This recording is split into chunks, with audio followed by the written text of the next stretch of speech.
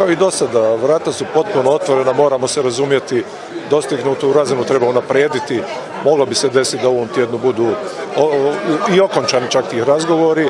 Mislim da će biti u jednom dijelu ohrabreni od međunarodne zajednice već s krajem ovog tjedna, početkom idućem.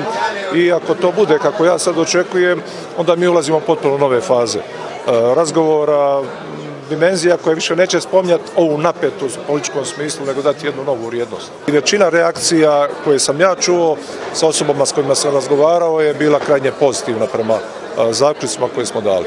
Kada svi sagledaju ono što smo stvarno napisali i poruku koju smo poslali, ja sam siguran da će oni svi na kraju podržati jednoglasno kao što smo mi na HNS-u jednoglasno podržali na.